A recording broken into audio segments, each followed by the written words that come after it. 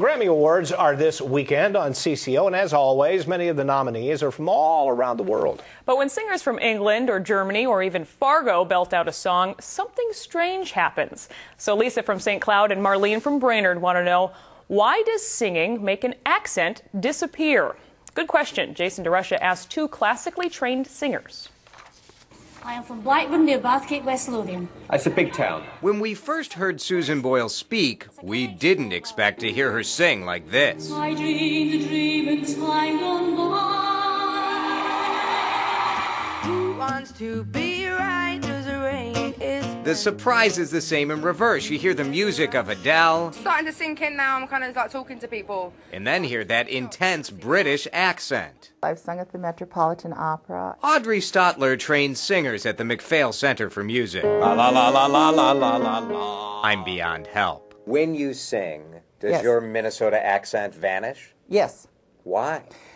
because when we speak, we don't use the same air pressure that we use when we sing. And this part of your throat expands, your pharynx expands this way, and this raises up. So you have a huge opening here. So when you sing your vowels, your vowels have a tendency to be more pure. Most of singing is vowels. You can't sustain a note on T, for instance. Dr. Bill Beeman is a linguist and an opera singer. Good question. Not that you can compare Bill with the Beatles, but listen to the vowels.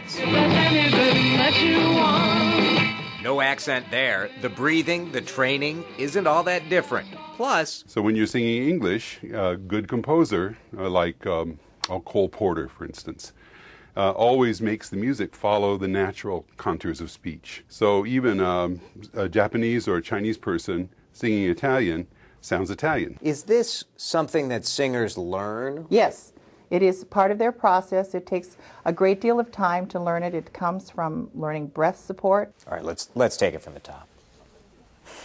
Please don't.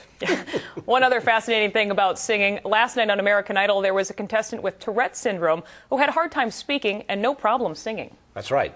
And singing is a right brained activity, they tell us. Speaking is left brain. When people have problems stuttering, for instance, therapists often tell them to sing what they want to say.